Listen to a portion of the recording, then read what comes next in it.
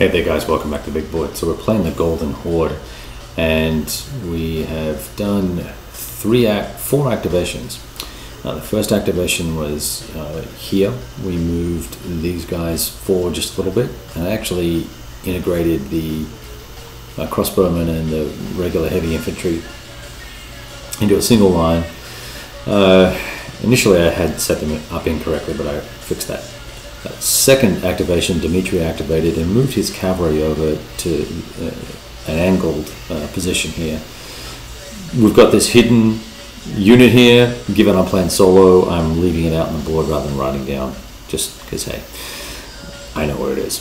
And then uh, we, we move these guys up. We actually got a double activation on Dimitri. So he's going to try and build a second shorter line here, with the goal being that will have hopefully have the yellow horde uh, break these guys up a little bit, then drive them back, and then be crushed by the uh, the V-shaped pincer. Sounds exciting, doesn't it? Well, we'll see. So we're on our fourth activation now, which is just finished, or just about to finish. We're going to do missile fire